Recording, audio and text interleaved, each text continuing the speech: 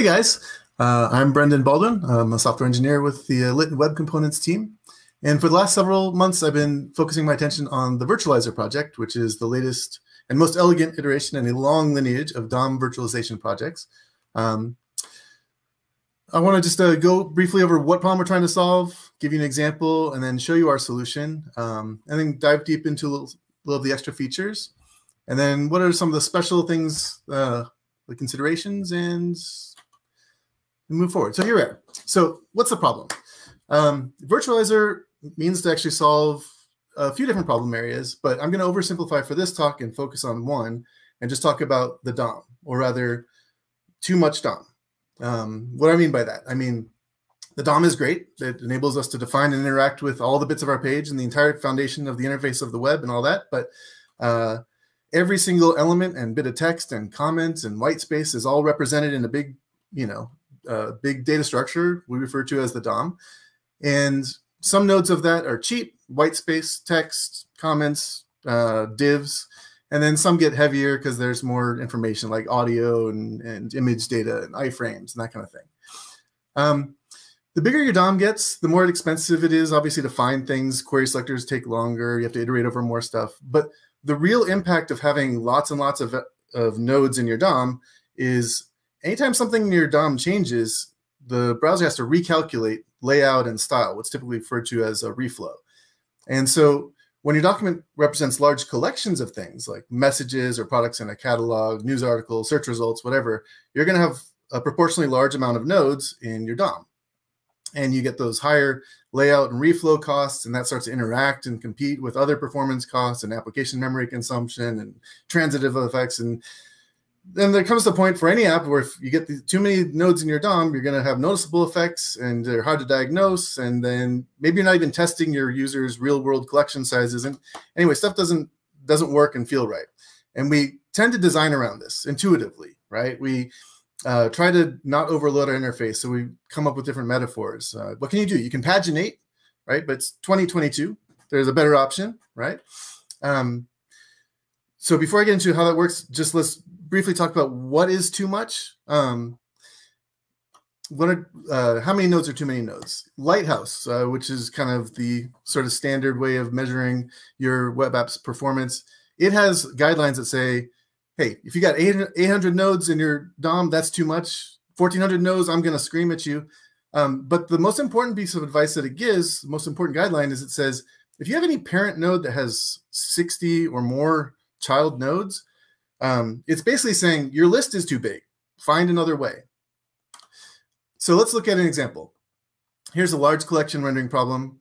Uh, simple example here is a, a, list of photos, right? We've got a, a, a, thousand some odd photos. We want to render them to the page. Um, obviously, there's going to be some expense there. So we give an array of photos to our custom element here. You you can see this is our basic photo list custom element. It's very simple. It has a photos array, and we're going to go ahead and emit each one of them as an image tag. This is the simplest possible example I could do. Um, so that's a thousand image tags on the page. Uh, in a real app, you'd probably have more than just image tags. You'd probably have, you know, divs around it for like a label, and maybe you've got a little, you know, kebab menu for doing things with the uh, the uh, image when you download it or whatever. So you're going to have a lot more stuff in your DOM than just the 1,000 image tags. You're going to have maybe 10,000 tags or something. Um, so that's a lot of data, uh, data and requests also to the images across the network that you're going to be doing.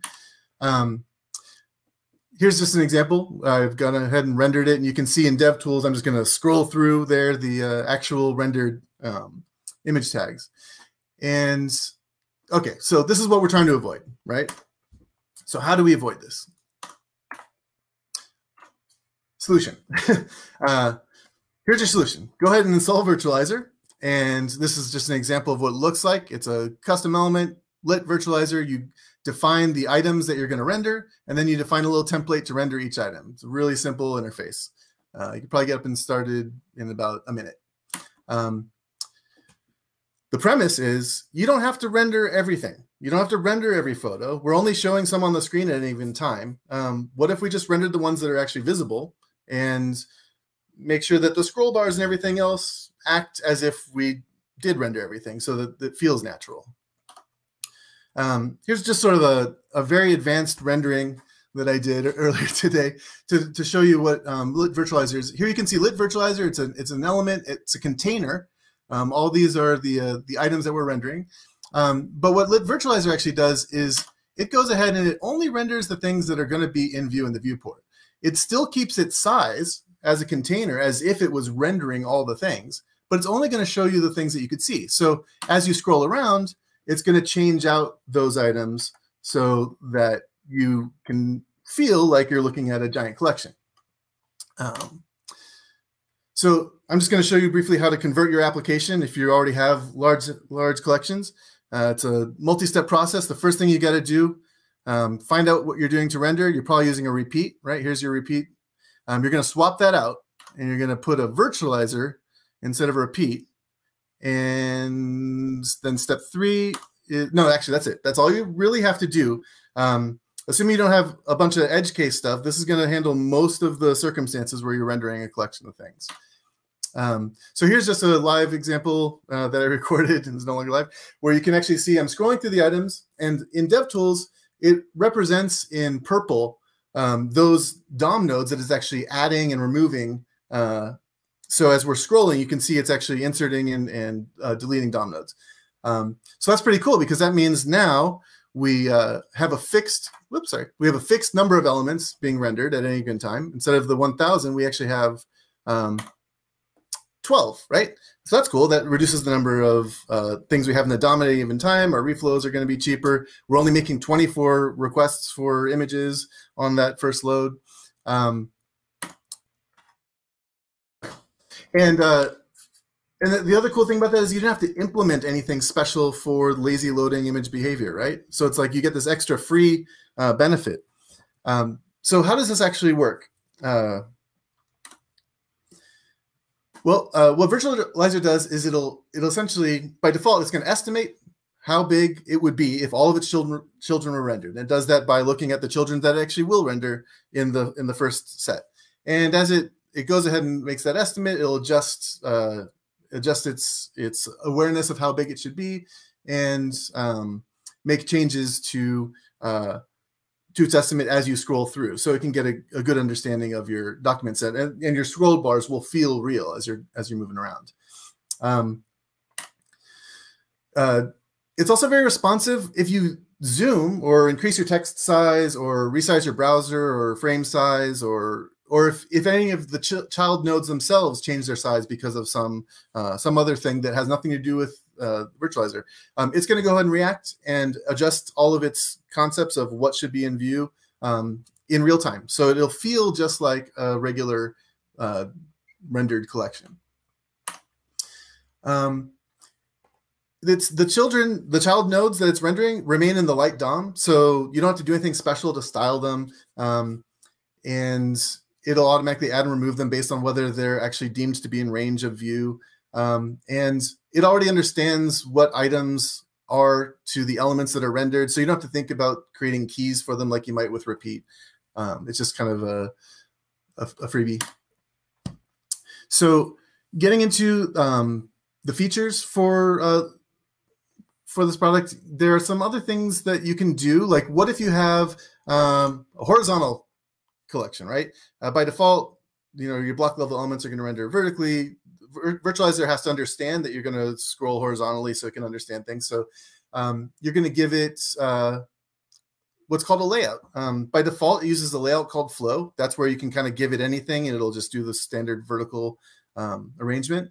But you can tell uh, flow to say, hey, I want to use a, uh, a horizontal orientation. So you can go ahead and import uh, the flow layout and give it a direction. I'm saying I'm going to render this uh, horizontally, and then it'll just work there too. Um, in addition to you know changes uh, configurations for flow layout, we have support other layouts. Um, there's a notion of a grid layout. The idea being instead of having to estimate and figure out how big your child nodes are going to be and adjusting over time, you could just establish up front a fixed item height and width, and then you can avoid all those uh, all those additional calculations and and uh, churn. Um, we're also uh, going to be launching a masonry layout soon, which um, gives you a little more flexibility if you have you know various aspect ratios, but you want to have them more arranged instead of one at a time uh, on top of each other. And you know we want to be able to support user-defined layouts too, but uh, we really want to get the API stable enough so that we're not making you constantly have to rethink how you uh, code them. So that's that's coming. We're we're looking hard at that. Um, and so in addition to other kinds, uh, other layouts, there's other behaviors that people are familiar with when they're using virtual scrolling kinds of libraries. Like, what about the infinite scrolling solution? Or what if you want to have, uh, you know, on-demand uh, data loading for certain items? virtualizer is really focused on being a simple, primitive uh, thing that's only concerned about pretending to be a fully rendered collection and only rendering things in view. That's what it's focused on. And if you want to be able to do things like infinite scrolling or do on-demand data loading for things that come in range, um, we make that uh, very easy. And to build a component on top of that that does infinite scrolling is just a matter of hooking into our event system. So Virtualizer will emit two different kinds of events. There's a visibility changed event, um, which is we send an event when new nodes show up in the viewport or disappear from the viewport, anytime that range changes. Um, then there's a range changed event, uh, which similarly, Virtualizer, in addition to rendering things directly in the viewport, it has a little bit of an overhang, we call it, where before and after the visible area, it's going to render some pre-render some content so that the scrolling feels naturally. You're not constantly scrolling into blank space. And these events just give you the first and last uh, item index um, that are now in those uh, those various ranges that you care about. And then once you know those, you, it's very easy to add logic to do things like go ahead and request the new items for the infinite scroll or or request additional data for um, for your items to display. And uh, another feature that we have is this notion of a scroller. Um, the premise is here by default, you know how virtualizer is going to basically be that big uh, element that pretends to be containing a whole collection. Well, sometimes you just want a little viewport that you can scroll around in. If you if you give it the scroller attribute, then basically what you get is instead of a giant uh, collection item that um, that it lives inside another viewport, Lit Virtualizer will itself be a little viewport, and you can style its width and height, and then just scroll around to see the items in it. And that can be really convenient if you're building a, a little list of things to browse. uh, we also provide a directive. Um, which is identical to the lit virtualizer custom element. Uh, you might want to use this if you were, let's say, doing something inside um, something that semantically didn't work to have a lit virtualizer element in it, like ULs and, and li tags. Um, or it's otherwise uh, a situation where you don't want to bring in the lit element base class um, and you just want to use the virtualization uh, capability. You can keep your imports smaller that way. Um, okay, so just a couple other things to keep in mind you're virtualizing now. Uh, not everything in the world is exactly the same when you virtualize. Obviously, you're going to be missing some DOM nodes that might have been there previously. So uh, when you're testing, um, you have to be uh, aware of how big your viewport is. Uh, if you've got headless browsers firing up for your integration tests and things, make sure you know how big they are because virtualizer cares. And so your, your test results are going to be different if you're expecting certain things to be in view. Um, and you know they can't just assume that everything's going to be rendered to the DOM. So if you're looking for application state to be reflected in DOM, just be aware you're really going to have to focus your tests on what's actually going to be visible. Um, also, because there are little micro adjustments that happen very quickly in virtualizer as it's figuring out where things are going or how much to render. Um, you need to wait until it's done figuring those things out before you test that things are viewable. Um, they happen before paint, but they're going to not necessarily happen in your testing cycle. So we have a little promise you can await. Um, it's called uh, layout complete, and when when that resolves, that just means everything's done. So it makes testing very simple to make sure that everything's in place before you assert. Um, okay. Uh, was it. Yeah. So so to recap. Um, oh, I'm sorry. That, I couldn't see my my slide. Uh, there's one other uh, thing to note because things in your application are not always going to be all on the page. If you are uh, trying to support users who would expect to be able to find using their native browser find feature, you're probably going to have to give them some affordance to do uh, the same. We have a very simple uh, API to scroll an item into view. So if you know the index of an item because your uh, you know your little application find feature has identified it, it's very easy to tell virtualizer, hey, go ahead and scroll that thing into view. And now you've got uh, got all the features that you would expect your page to have. So to recap, Virtualizer is actually very usable right now and very useful right now as a tool to virtualize element rendering. Um, it is intended to be a low-level primitive, so you could build uh, elements on top of this and behaviors on top of this to do uh, your basic, you know, news feed and infinite scrolling and, and whatever comes to mind.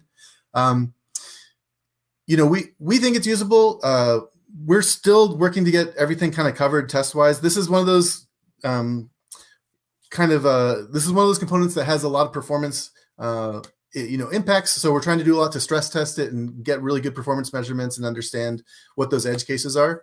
Um, so you know bugs still come in but it is very usable right now and we'd love to get more feedback on your use cases to, so we can make better uh, decisions as we stabilize the api and uh, that's pretty much it. So thanks for your time